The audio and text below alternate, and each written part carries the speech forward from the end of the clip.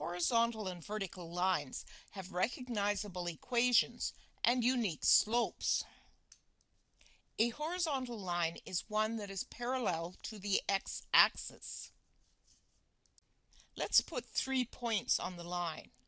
Negative 5, 4, 3, 4, and 8, 4. You can see that y always has the value of 4, and x can take any value. The equation of the horizontal line is y equals 4. Now let's find the slope of this line.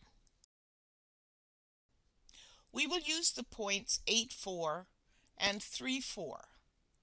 This gives us a slope of 0 over 5. The slope of the horizontal line is 0.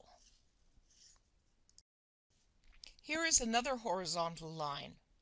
Its equation would be y equals negative 2, and its slope would be 0. A vertical line is one that is parallel to the y-axis. Let's put three points on the line.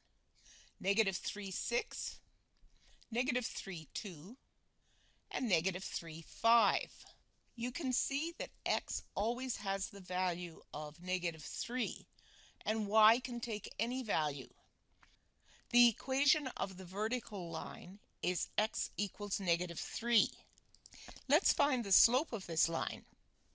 We will use the points negative 3, 6 and negative 3, 2.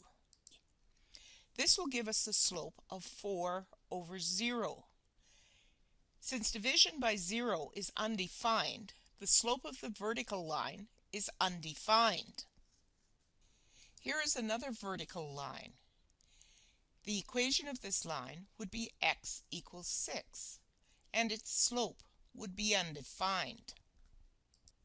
To summarize, a horizontal line is given by the equation y equals a number. The slope of a horizontal line is 0. A vertical line has the equation x equals a number. The slope of a vertical line is undefined.